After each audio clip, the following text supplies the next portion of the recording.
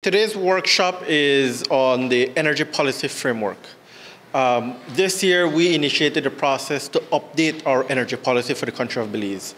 The last energy policy was dated in 2011, so we are going through the update of that policy. That new policy will take us from the year 2023, when we believe it'll be approved in the first quarter of next year, that's what we're aiming for.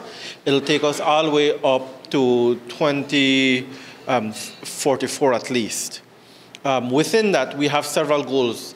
Uh, one of the primary goals is to have 75% of all electricity produced in the country from renewable energy resources by the year 2030. To, to fit in line with that, um, the, the, COP27 and COP26 uh, agreements? That is correct. Actually, um, we updated our national determined contributions to be in line with that. And the policy is following that line right now. This policy is stated around um, seven main pillars.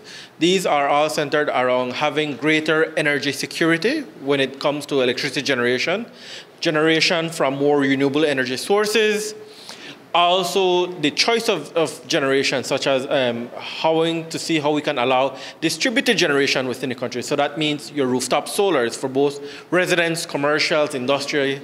We're also looking at energy security, such as fuels for vehicles, um, hydrocarbons.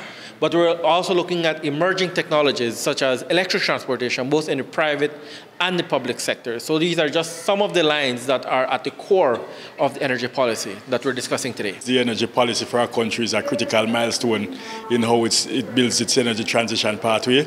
Um, at this stage, we think we are about 50% of the way. We have a green paper uh, that is now publicly available. That green paper was endorsed by cabinet for the use of um, the principals to do consultations.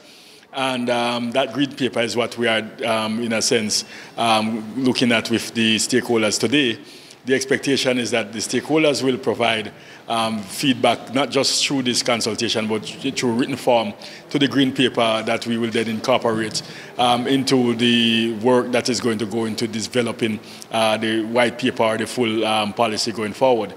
Um, the expectation based on the current um, state of where we are is that we would have a draft policy or a white paper available at the end of the year, meaning by the, the end of December 2022. Um, hopefully, you know, we will take that through the rounds of consultations and eventually bring that through to the cabinet for its consideration sometime in first quarter of 2023.